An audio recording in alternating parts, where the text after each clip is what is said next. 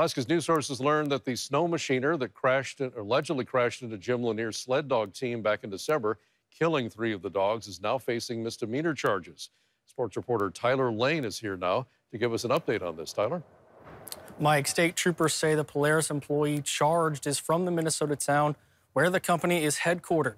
Troopers have charged the company and are charging 48-year-old Eric Johnson with reckless driving for the deadly sled dog crash near Cantwell. It occurred along the Denali Highway on December 11th. The trooper report says Johnson was working for Polaris when the, he hit the sled dog team during a Polaris test ride. Three dogs died as a result, and one was badly hurt.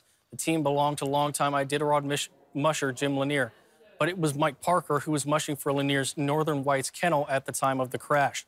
The names of the three dogs who died were John Lennon, Buttercup, and Solo. Troopers say Johnson told them he had been following another snow machine going about 40 to 50 miles per hour at the time. After spotting what he called a faint light facing him, the report says Johnson collided with the dog team. Parker, meanwhile, said that at the speed he was going, he was able to see clearly despite what was described as blowing snow and dark conditions. Alaska's news source has reached out to Polaris for comment that we have yet to receive a response. However, at the time of the incident, the company did state they were cooperating with local law enforcement and conducting an internal investigation. Mike?